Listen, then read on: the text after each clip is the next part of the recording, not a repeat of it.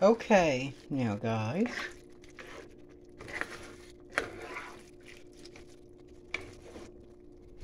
Yeah.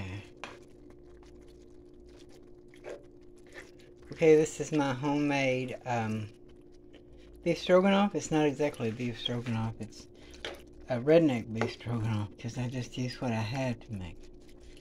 First of all, I got some egg noodles, got some hamburger. I got a can of chicken um, cream of mushroom soup and some milk to mix with it, you know.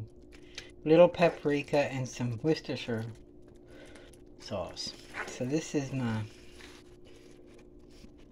homemade recipe.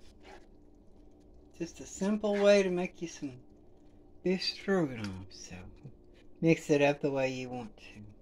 I'll catch you guys on the flip side.